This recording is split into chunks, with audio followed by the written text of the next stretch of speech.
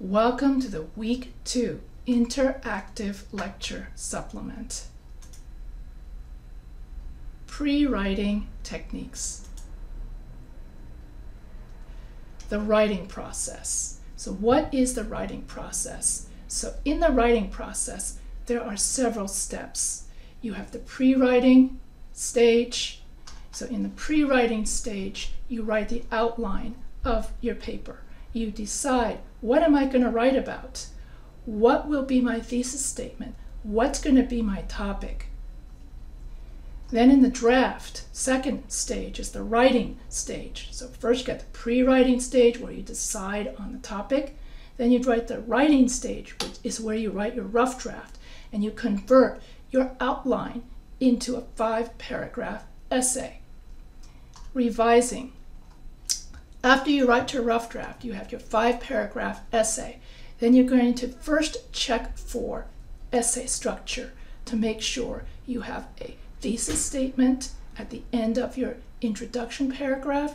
You make sure that you have topic sentences that all reflect back to your thesis statement. And you make sure you have five paragraphs. And after you make sure that your essay structure is good, then that's known as revision then after that, you do proofreading where you check on grammar errors. And so then after you know that your uh, draft is perfect, then you hand in to your final final draft, which will count essay one, the final draft in week six, will count as your midterm. And your second essay in week 12, that's going to count, final draft is going to count as your final exam. So we're going to be using the writing process in this class. So first step is pre-writing, in which you decide what it is uh, you want to write about. Pre-write. In pre-writing, choose your topic and then write down everything you know about the topic. While no formal research is needed for this step, you may want to begin with some background reading.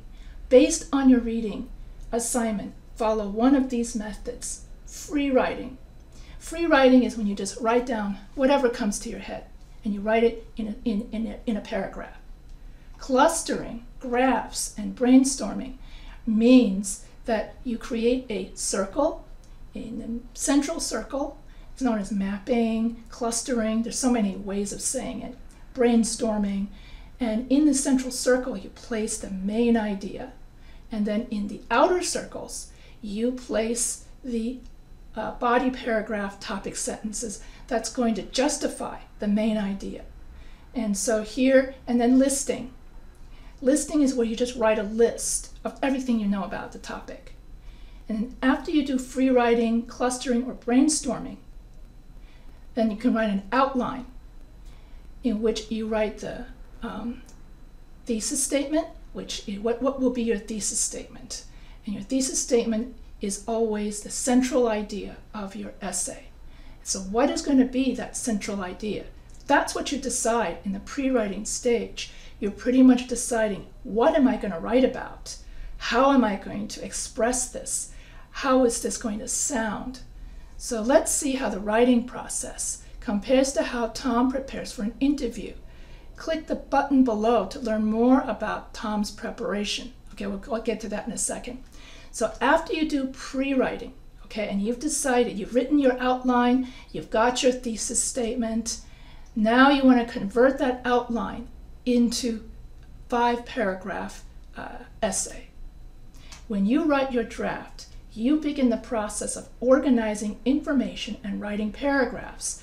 A critical part of drafting is developing your thesis statement. The thesis statement is the one sentence in the introduction that expresses your overall main point for the entire essay. Think of it as an umbrella under which all of your supporting details will fall. So the second stage to the writing process is writing the rough draft. After you write your rough draft, you're going to want to correct the rough draft to make sure you have good essay structure and no grammar mistakes. So the third stage in the writing process is known as rewriting. Rewriting has two steps. The first part of the revi revising, uh, the first part of the rewriting stage is revision. Revision is when you check for your essay structure. So revision is when you address the global organization of your essay by answering the following questions. Is your thesis strong enough to support your entire essay now that you have written out all of the body paragraphs? Is the order of information effective? For example, should your second body paragraph be moved down and the third body paragraph be moved up? Focus on the effectiveness of your presentation of details. You also want to make sure at this stage that each topic sentence match the topic sentence is the first sentence of each body paragraph. So you want to make sure that each topic sentence of each body paragraph matches the thesis in order to have essay coherence.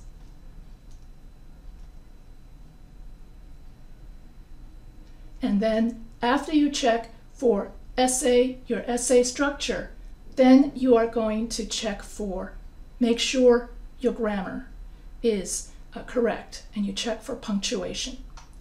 So that's revising. And then after you make sure your essay is in good order, good essay structure, and you have no grammar mistakes, then you can hand in to your final draft. Now, in the revision stage, you can have someone else look at your paper. And you can also take a break from your paper. Don't just do it all in one sitting because then you get too involved. After you are satisfied that your paper is good, then in week six, you're going to hand in your final draft. So, in the final step, you proofread and edit your writing to produce a final polished uh, essay. This is when you read through your essay, checking for spelling, grammar, and punctuation mistakes. At this point, you should also focus on sentence clarity and correctness. Once this step is completed, you should have a well organized, well developed, and polished paper to present. So now I've gone through all the different stages of the writing process. The pre-writing, in which you create the outline, the writing process, the writing stage, where you write your rough draft, the rewriting stage, in which you do your revision and you correct for essay structure, and then the final draft, which is your proofreading, where you check for grammar mistakes. Once you're done with your writing process. Then you are ready to turn in your paper. Now let's see how Tom prepares for an interview. Tom's preparation. If Tom prepared for an interview as if it were the proofreading and editing stage of landing a job, it would look like this. After finishing his yard work, Tom showered and put on a suit and tie and then drove downtown for his interview. He thought about his main goal for wanting the job and also matched up his best skills to the job requirements, listing them out logically in his head. During the interview, the hiring manager was impressed that Tom had done his research because he also knew a lot about the company. Result Tom would get the job.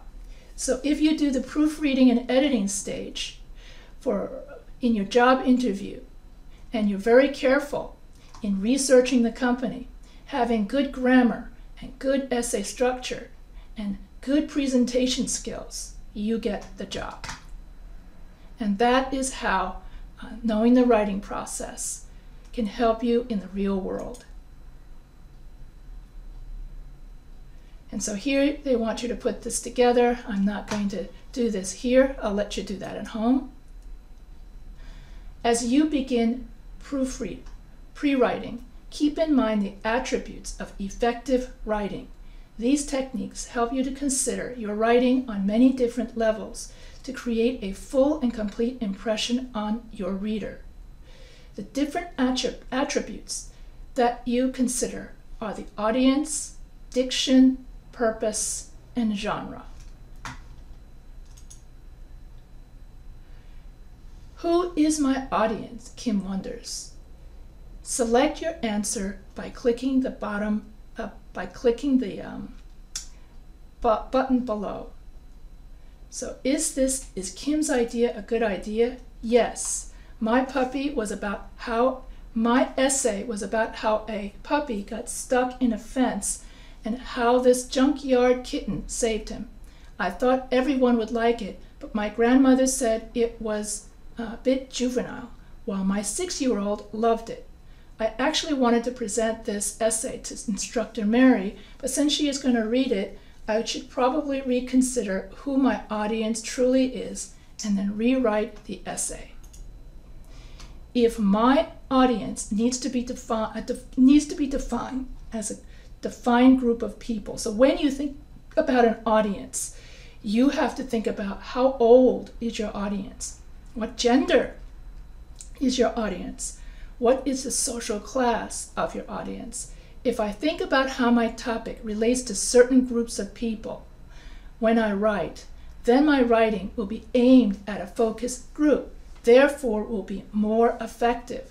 Good tip. Diction. Another tip for Kim is to consider diction as she begins her pre-writing. Diction is simply a writer's word choice and the tone created when writing. Diction is, ver- is a very important factor in relation to your audience. How you approach the more technical or complex concepts in your essay greatly depends on knowing who your audience is. Click on the right button. So basically, diction means that when you write, you have to consider who will be your audience. And so if, for, instance, for example, you're going to give an oral presentation to a bunch of beginners and you use a lot of technical language, your audience will have no idea what you're talking about. And therefore, when you have to rewrite it, so if you know your audience are beginners, you have to define a lot of the technical terms. If you know your audience are a bunch of experts already very good, well versed in that topic, you do not have to define every every technical word because if you define every technical word for a bunch of experts or peers, you will bore your, your, your audience silly. So you have to direct your writing. You have to know a little bit about who your audience is going to be. Are they going to be a bunch of people, ordinary people who don't know anything about your topic? Or are they going to be colleagues who already know everything about your topic, and then they would just want to cut to the chase as to what's the newest treatment, what's the newest whatever, and then skip all the explanation, you skip all the technical terms, and you just get straight down to this is the newest um, what we're doing, and this is the newest what makes it so exciting that my company is doing. And then if you're going to uh, give the presentation to the general public, who don't know anything about what you do. So, first, you would have to define this is what my company does, uh, this is what that word means. Then you get to this is the newest thing that we're doing. So, diction and audience is very important. You have to know who you're writing to by taking into account age and gender and social class. If my audience knows something about my chosen topic, then it will be okay to include more technical words and jargon and complicated ideas without having to explain what those ideas really mean. So, this is if your audience is a bunch of experts, if your audience is a bunch of um, your peers, you could skip the jargon and then you can go straight to cut to the chase. You can include some of the technical jargon, especially if, if it's a ex- new experiment that you're doing. And then you have to explain why it's so new. And if you have new jargon nobody's ever heard before, you know, even for experts. Like for teachers, it would be a new teaching technique. Like I would be familiar with um, how to teach uh, grammar by simply memorizing, having everyone memorize rules out of a grammar book, for instance. And so my audience would be a lot of grammar teachers. They already know the difference between a past tense, simple past, and, and, and future tense. I don't have to go through all of that. I just go right to the chase and say, did you know the newest way and the most exciting way to teach grammar is to have a student centered classroom. Okay, so you just go straight to whatever it is is new. And then it, so it depends on how familiar your audience is. If my audience doesn't really know much about my chosen topic, then I will need to explain the technical terms or complicated ideas to help them understand the essay. So if I'm talking to a bunch of teachers, all I have to say is, oh, we got to go student centered. And that's it. They know exactly what I'm talking about. But if I'm talking to a bunch of public, the general public, what's a student centered classroom? What were you doing before student centered? You have to give a little history. Well, traditionally, when people teach grammar, um, they teach, they memorize, they have their students memorize from a grammar book. But now in student, notice how I have to explain it a little more. I have to give context. I got to give a history because the average person will be like coming in clueless. Okay? So diction is very, very important. Who are you writing to? I'll let you do this at home. And so consider the following tips as you begin your assignment. Review the assignment and note each step. Ask questions if you need clarification. Review the text for more information on pre-writing strategies. Let the ideas flow. A very good tip when it comes to improving writing is to incorporate feedback from your instructor. Kim shows the feedback I gave her. Tim should do the same. So this means that when I give you comments about how to correct your essay, you need to correct that, include and incorporate that, that feedback into your paper and not just simply look at the grade. Because a lot of students skip looking at teacher feedback and just go, oh, I got a 95. Okay, that's good. I got a good average. Okay, I don't have to worry about this class. Uh oh, I got a 65. Oh, I better pay attention to this class. And so students short on time don't bother to look at the, especially when teachers can spend hours grading and then when students ignore the feedback, how would you like it if you give feedback to someone and then people ignore it? You wouldn't like that either. So always remember to incorporate feedback from your instructor into your final draft. So here's an example of, ah, I guess I'm um, not allowed back into this, uh, whatchamacallit. So I'm gonna have to go back, courses, and this one, interactive modules. Sorry about this, guys. I didn't know I was going to go outside of the um, when it when it when it did that. So we're going to have to go through this all over again. So, oof, I wasn't paying attention. Sorry. And this has to go like this,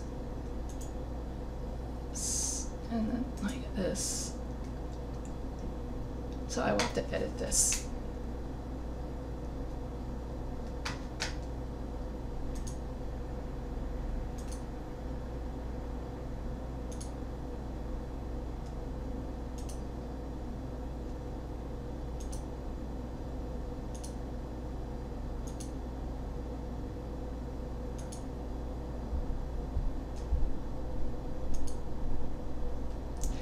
So, when you review Kim's pre-writing, you will notice all of these mistakes.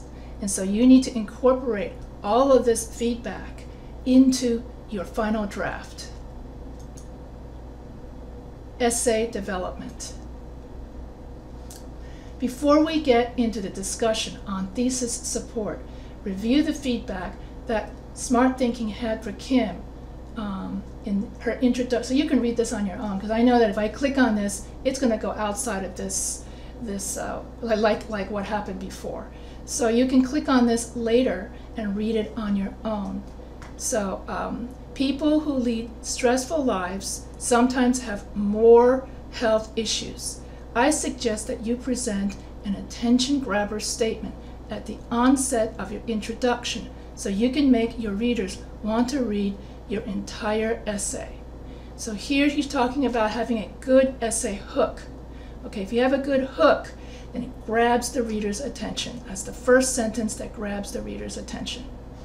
It wasn't easy developing my thesis statement and not moving forward to write out the whole essay, but I want to make sure I do it right.